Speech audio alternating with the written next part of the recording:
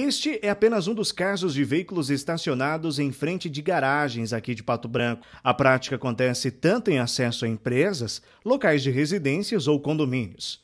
Talvez seja descuido ou falta de vagas de estacionamento. Embora seja considerada infração, muitos condutores ainda insistem em estacionar em frente a garagens.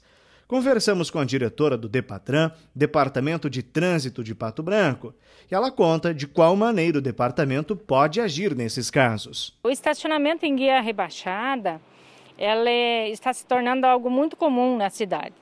Na realidade, a pessoa às vezes não percebe que é uma guia rebaixada, porque não presta atenção, não é porque a guia não é rebaixada. E isso causa transtorno para as pessoas que moram dentro desses espaços que não conseguem sair. Nós conseguimos deslocar um agente e ir lá fazer uma notificação de autuação. Mas não conseguimos remover o veículo porque, infelizmente, ainda não temos o serviço de guincho e o pátio para recolher esses veículos. Para solucionar o problema, o Depatran já estuda uma maneira.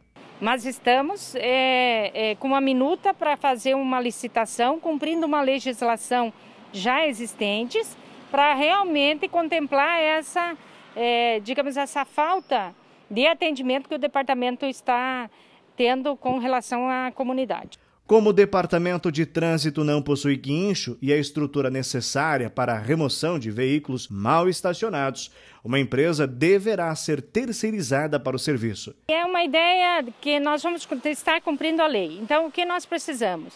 É, precisamos que os proprietários de guincho dentro de Pato Branco é, se estimulem a participar da licitação, se estimulem a, a participar do pregão. Porque esse tipo de, de situação as custas, digamos, de armazenagem do carro, de estadia, correm por conta da, da, do proprietário do veículo. Então não cabe nenhuma custas para a prefeitura.